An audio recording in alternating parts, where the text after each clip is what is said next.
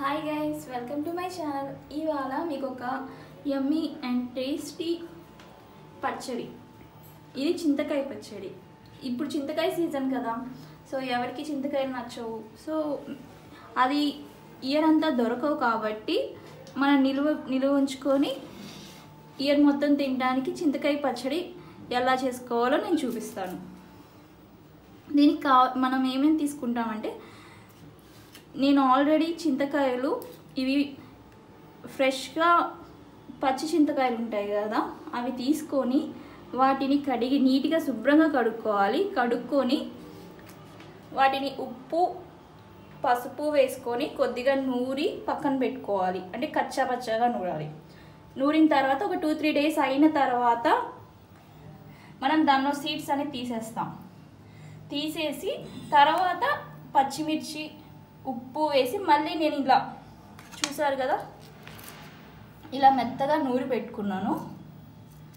దీన్ని ఇలానే తినలేము మనం పుల్లగా ఉంటుంది చాలా. ఇది నిలువుగా కూడా ఉంటుంది. ఉప్పు ఎక్కువ వేసాం కదా చాలా చాలా వేసాను ఉప్పు కాబట్టి ఇది నిలువ ఉంటుంది.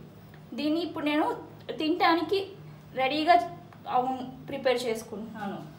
సో దీన్ని ఇప్పుడు మనం రైస్లో తినడానికి కానీ చపాతీలో తినడానికి కానీ రెడీగా చేసుకోవడానికి కావాల్సిన ఇంగ్రీడియంట్స్ చూపిస్తాను.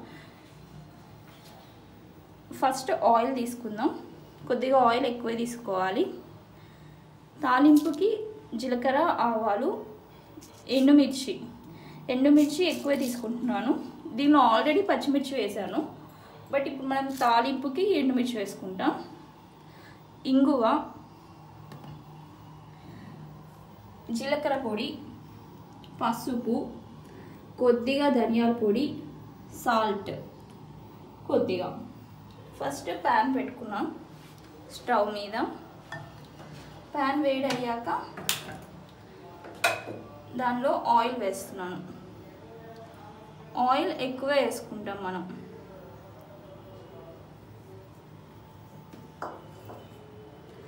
ఆయిల్ కొద్దిగా వేడవనివ్వాలి వేడైన తర్వాత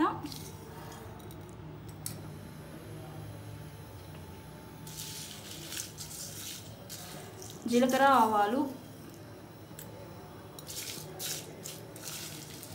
ఆవాలు చిటిపెట అన్నాక ఎండుమిర్చి.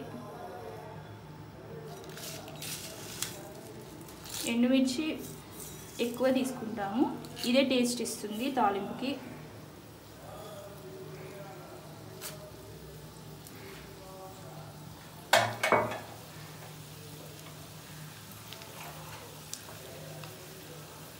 దాన్ని కొద్దిగా అలా మిక్స్ చేయాలి.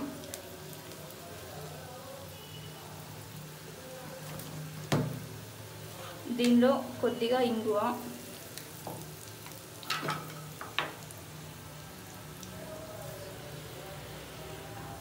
సాల్ట్.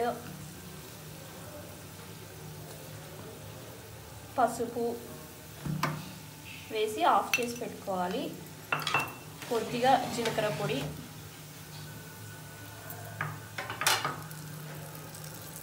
ఇప్పుడు బౌల్లో ఆల్రెడీ నేను చూపించాను కదా ఇందాక నిలువ ఉంచుకున్న పేస్ట్ చింతకాయ పేస్ట్ దాన్ని తీసుకోవాలి.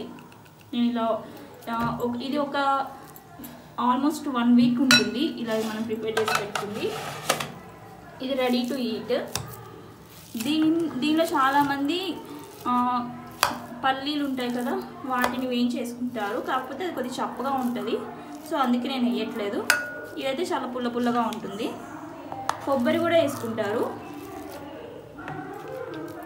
ఇది వన్ వీక్ దాకా మనం తినచ్చు.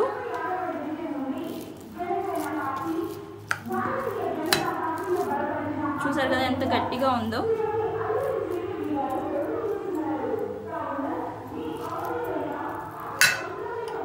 ఇప్పుడు ఆ తాలింపుని మనం ఇందులో వేసుకుంటాం.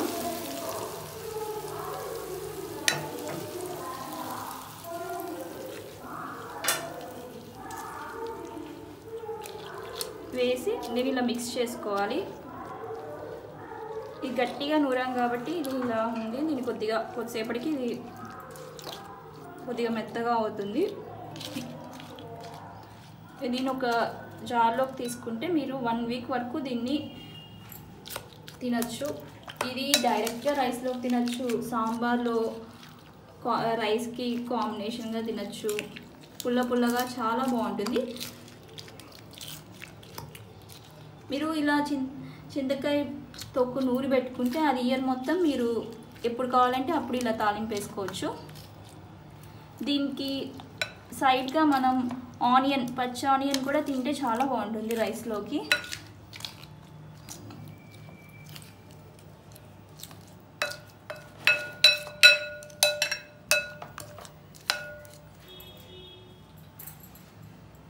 ఈ వీడియో కనుక మీకు నచ్చినట్టయితే లైక్ చేయండి షేర్ చేయండి సబ్స్క్రైబ్ చేయండి. ఇంకా ఇంట్రెస్టింగ్ వీడియోస్తో మీ ముందుకు వస్తాం సబ్స్క్రైబ్ చేయడం మర్చిపోకండి.